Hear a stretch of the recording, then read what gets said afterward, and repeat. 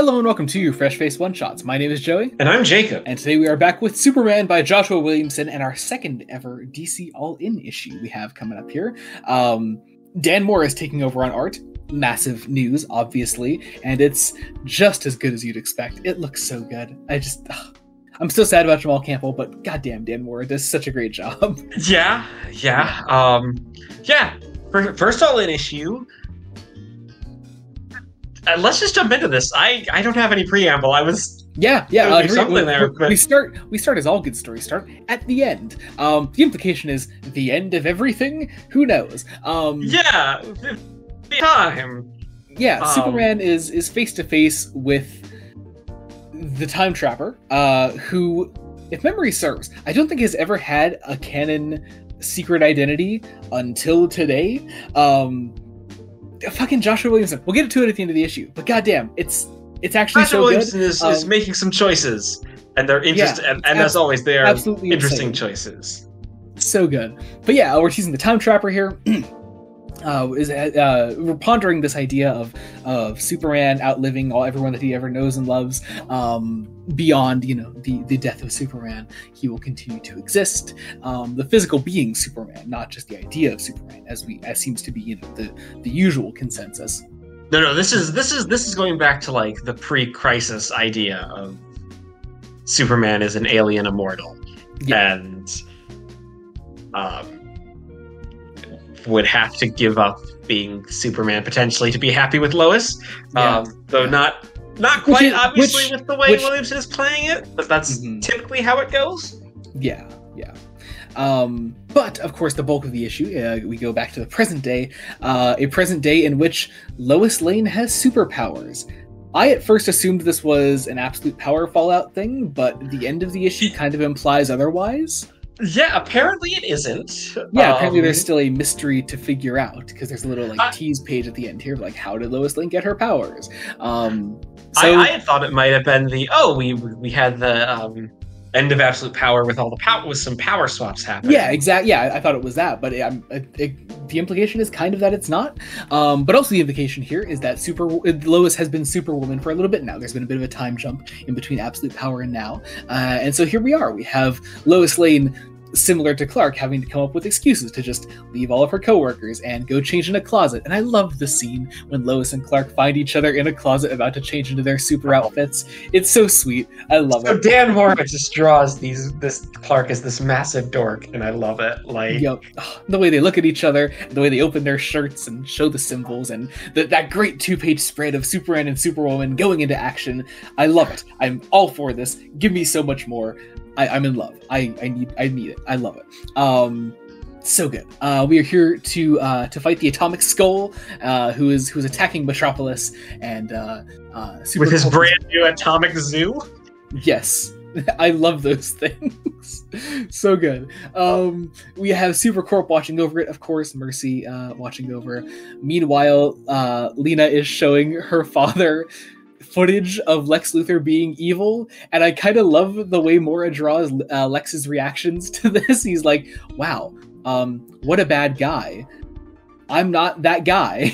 I really appreciate that though. Like it's it's it's Lex seeing a side of himself that he legit just is not part of anymore. Um, I think it's really cool. I, I just I, I I appreciate that approach. It's not a oh I know what I am now I must become what I was. Um, it, I, I, I like that. I mean I'm sure we'll reset. I'm sure we'll reset him eventually. But I mean, yeah, this this is sadly one of those things that isn't going to stick because the, the certain status quo things have to happen. comics are comics. but I no, really like is- it. Also, I, I like the idea of Lena trying to be good to her father, even neglecting her her work. yeah, in doing yeah. so. Yep, Uh, it's, it's cool. I like it. Um, yeah, we do sort of a we do a sort of flashback as to like showing uh, uh, what Super Superwoman has been doing since she she has had her powers.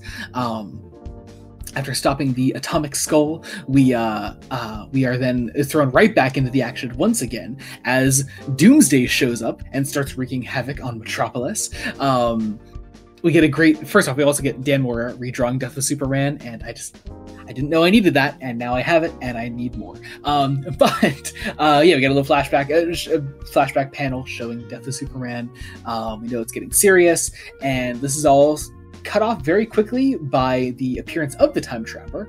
Um, Superman seeing him and the Time Trapper unveiling his identity after freezing time so that him and Superman can talk, uh, revealing his identity to be Doomsday. Like I guess he that's straight up he straight up says like once at your own hands back when you knew me as Doomsday. Like it's just Doomsday. It's not a you know a, char- a character that is the same species or whatever as Doomsday. Like it is just it's just, it's just Doomsday. What? I kind of love it. I kind of love. Is it weird that I kind of love it? I, I, it's, it's certainly a swing. I'm curious to see what Joshua Williamson does with this. I Um, really love that we have this now. Also, considering way back when I had your first Superman comics be the full Death, Death and Return of Superman arc. yeah, I just- I kind of love that. it's, it's kind of fitting. Um, it's like poetry. It rhymes. Yes. also, it's great. This feels like a jumping on point. Like, Yeah, yeah. The only other, the only thing that I could see confusing new readers is the the Lex memory wipe thing. Other, yeah, but I mean, otherwise, I think it's it's it's pretty safe for new readers. Even then, it's it's. I, I think Williamson does a good job of catching people up that in a page that hey, Lex Luthor has memory loss. hmm Yeah. Um, and honestly, like I, I think of, of the all-in issues I've read so far, which has only been the ones we've done on one shot so far uh, with um, Wonder Woman and Superman, I think they're both pretty good jumping on points. Um, I, I, I just appreciate that. I, I think there's been a, a real attempt to make all in an actual an actual good jumping on point. I, I just I like that. Um, like with Dawn of DC, uh, that, that we sort of jumped on with a lot of titles uh, previously. I, I think this is doing a great job of doing the same thing. And um, of course, we also have the Absolute Universe uh, uh, kicking off at the same time, which is also a great jumping on point for new readers. Um, very cool stuff. A lot of great things. We also get a great little tease page, page at the end here. Uh, how did Lois Lane get her powers? The secret, uh, the sinister secret of the Time Trapper, and the uh, a future of horrors. Something about that. I don't know. That's the only th- only thing I don't. I'm totally clueless on on the on the tease page here, but uh, but I'm excited. I'm excited nonetheless. And uh, as always, Williamson just does a great job with pacing and and uh, great little character moments. I don't think I've disliked pretty much anything in Williamson's Superman run. Um, other than, like, Worst, it's very, been very minor at, at its worst, it's been a solid fun time. Like, yeah, yeah.